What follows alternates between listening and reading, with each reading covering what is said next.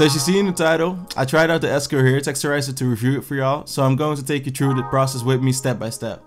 So if your hair is naturally tough to comb through like mine, you may want to wash it before or make it a little wet or even wash it with conditioner and shampoo before you start so the process will be easier. What you see right now is the S-Curl texturizer. This is the cream that I use. It's from the brand S-Curl and it basically texturizes your hair to another texture which should be softer and curlier.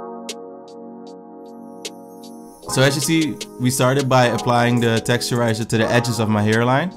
And after that, you want to start combing the texturizer through and to the middle of your hair. So here we're still applying it to the edge.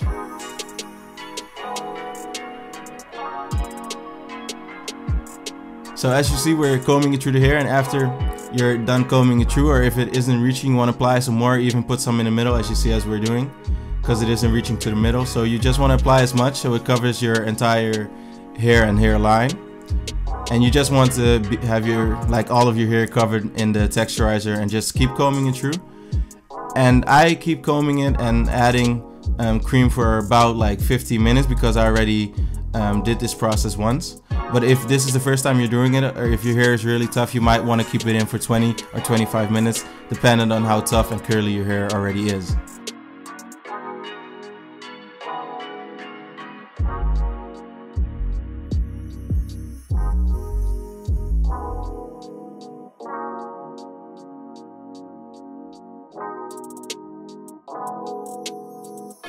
So when you're done applying the texturizer to all of your hair, you're gonna have your hair really soft. And then what you wanna do is go to the bathroom wherever you wash your hair. You wanna wash out the product with lukewarm water.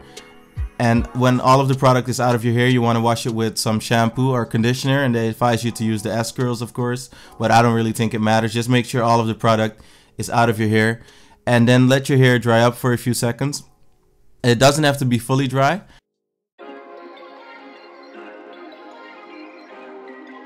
But when it's dry enough, you can start applying the curl activator, activator spray, which will make your curls pop out more. As you see, we're just applying it through my hair after taking out the texturizer cream.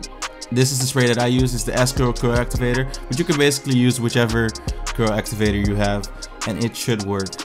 So after this, your hair should be curly and soft, and it should have a way different texture than what you started with.